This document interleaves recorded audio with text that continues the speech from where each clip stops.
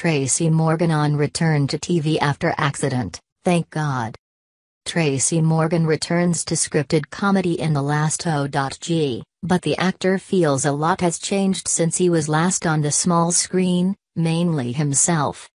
In the TBS show, Morgan stars as a man who experiences culture shock when he returns to a gentrified Brooklyn after 15 years in prison.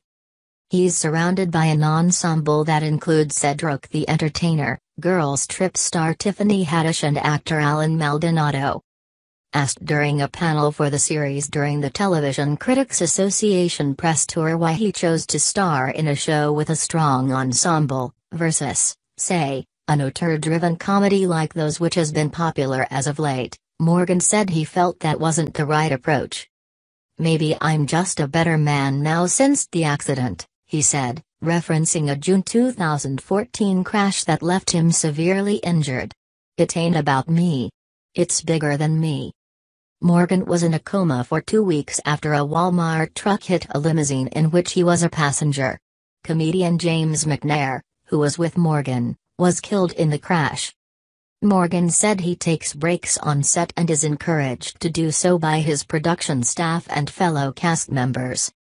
I have my crew and I love them and they make sure I sit down, he said. I'm taken care of by my people, and I love them with my heart. Following the accident, the 30 Rock alum made a slow but steady return to the stage first with a surprise appearance at the 2015 Emmy Awards and then one month later as host of Saturday Night Live. A running theme in The Last OG, Morgan and producers said, is the importance of second chances. Asked what it meant to him to make his return to TV and what could be viewed as his own second chance, Morgan said he had only one response, thank God.